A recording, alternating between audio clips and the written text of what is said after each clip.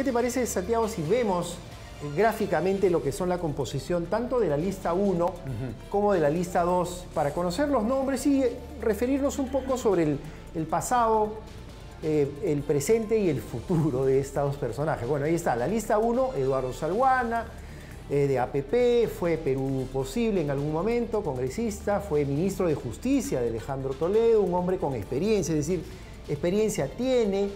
Em, y esta relación con la minería informal es lo que estaría cuestionándose básicamente. ¿no? Ese es el caso de Eduardo Salguana. Bueno, está Patricia Juárez en la primera vicepresidencia, la cuota de Fuerza Popular, Valdemar Cerrón como segundo vicepresidente, el único que repite el plato personalmente, pero los partidos todos ocuparían las mismas posiciones que ocupaban en la mesa que sale mañana. Alejandro Cabero en Avanza País completa este grupo.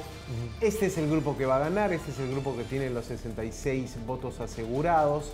Por ese lado también, y vamos a ir viendo la segunda lista, hace tiempo en el Perú no ocurría algo con tanta, algo político, Mm, algún desenlace político tan previsible como este. Bueno, Silvana Robles también ha tenido un pasado ministerial. Me- me- conversábamos antes de entrar al programa que Silvana Robles ha sido ministra de Cultura del gobierno del señor Pedro Castillo. Eh, y seguido, luego de Silvana Robles, está el señor Pasión Dávila, recordado Santiago, y lo recordarán los amigos que nos ven este- eh, en este tiempo, que golpeó a un congresista en un debate, ¿no? Se para de su curul, Claro. se acerca hacia el otro lado del hemiciclo y le da un golpe entre la cara y el cuello, ¿no? Un Claro. golpe medio extraño, pero bueno, golpe. Bueno, el, el más cercano a Pedro Castillo, podríamos decir, de todo el Congreso, Eh, Pasión Dávila. Pasión que lo va a visitar, más ¿no? cercano. Recurrentemente. Jaime Quito Saavedra, eh, congresista por Arequipa, marcado perfil en contra de la minería, en contra del proyecto Tía María. Así armó su carrera política desde la protesta contra el proyecto minero en Arequipa. Y Alex Flores, eh, representante por Ayacucho, ¿ah? tercer vicepresidente, en esta lista que no tiene los votos para ganar, pero que se presenta como una opción. Hoy decían, ¿no? No porque ya sabemos que vamos a perder la guerra, no vamos a ir a pelearla, decía Silvana Robles. Y otro decía, que- es dignidad, ¿no? Sí, no, Pero- no tienen mucho que perder, ¿no? Porque son ellos contra el mundo. Entonces ya se ve, si, ese, si van al sacrificio es como que ya un acto heroico per se.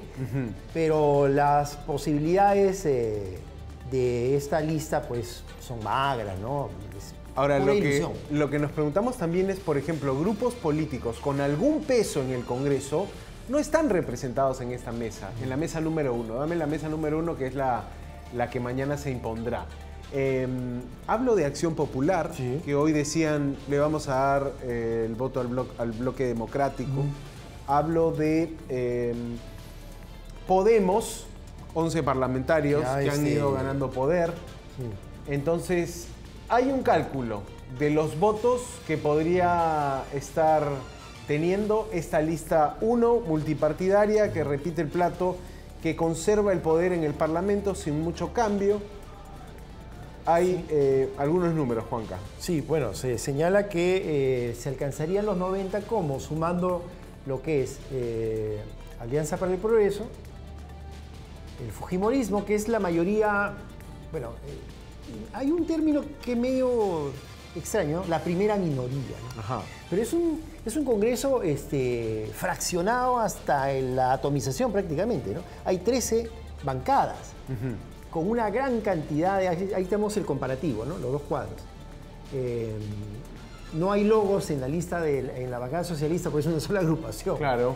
Los cuatro son del mismo partido. Entonces, se, con, la, con la firma de los voceros, más la bancada, este, de, digamos, las bancadas que conforman la mesa, se estarían pasando el en el cálculo más de los 90 votos. ¿no? Entonces, si necesitas, como tú decías, la mitad más uno, 66 de los presentes, bueno, en fin, eh, y Renovación Popular jamás va a votar por una lista que sea de izquierda, por lo menos se abstendrán, lo cual no suma para la bancada socialista. Entonces, eh, ya no es pues, este, descabellado decir que la lista 1 ganará y con un amplio margen. Exacto. Entonces, ese es un poco el resultado y ese es un poco eh, la lógica de los votos que mañana va a darse en el Parlamento.